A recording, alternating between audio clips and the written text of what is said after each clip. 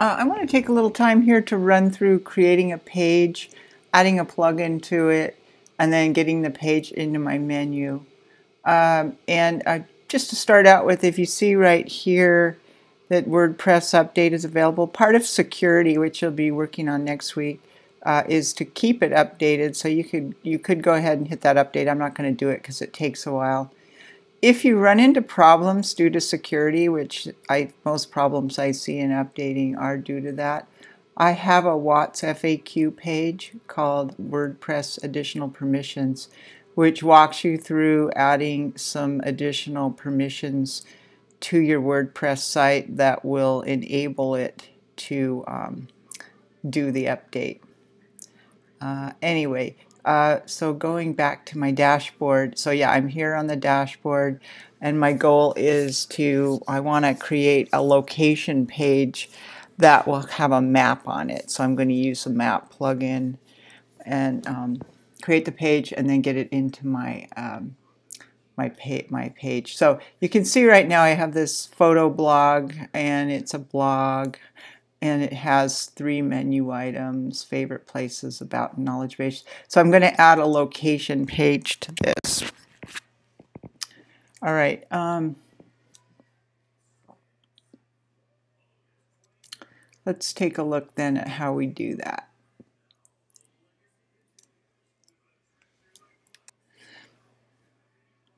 So first of all, um, I have already added a Maps plugin, and the way I found that it's a Google Maps plugin is I went to this plugins, I clicked on Add New, and then I did a search for maps. And so whatever your interest is, whatever you want to get going on your plugin, um, this is a way to find plugins really easily. And this is free. So then I just clicked on Google Maps and I installed it. Um, in order to use it, I needed to get an API key, but again, I, I, it will walk you through that. And so once you get that key, then you'll be able to start adding map locations. And, and it will install this maps on your dashboard.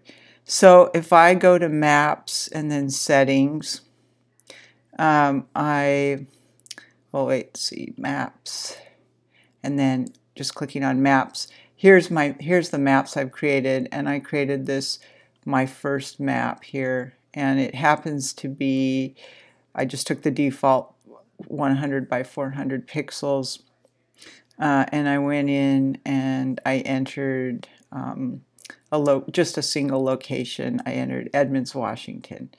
And you can see it put a marker on the map. So that's that's my location. Now I encourage you if you have time to play around with some of the options that your plugins offer you because it's a good way just to see what what a plugin will do for you. They all have their own GUI um, and their own instructions.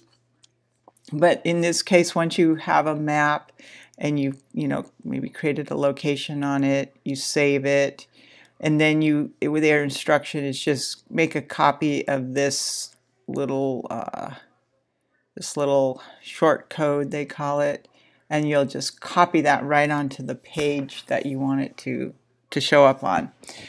So once I've got that the code now I'm going to go and make a page. So if I go to pages you can see those are the three pages I've created. They're in my menu.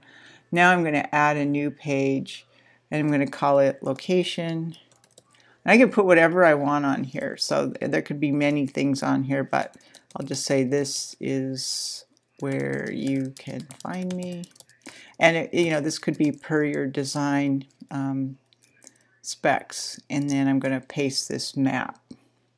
Okay, so then I will, um, I can preview this. So if I click preview, it opens up and you can see it shows the map and that one location that I put on it. So that looks good. So now I'm going to come over and publish this page. And then once that page is published, it will be accessible via this permalink, uh, which is editable, but you know I'm going to leave this at location. So if I open this link in a new tab, now I have an actual permanent link to this page. The next thing I want to do is get it into my menu. Um, so you don't have to put every page you create in your menu. You know, they can link to it in other ways, whatever your uh, information architecture calls for. But let's just say that I want to get it into the menu. So then what I'm going to do is go to, let's see, Appearance, and then Menus. And you can see that the, it knows about the pages I have. And I've already got these three in my menu. So now I'm just going to add location to the menu. Okay, and then I'll save the menu. And then once that's saved and I come over and refresh, you can see I've got location in there, happen to be on it, and it's got my page with my plugin. So I hope that that helps you to see how you can get a plugin onto a page and then the page on into a menu uh, for WordPress. All right.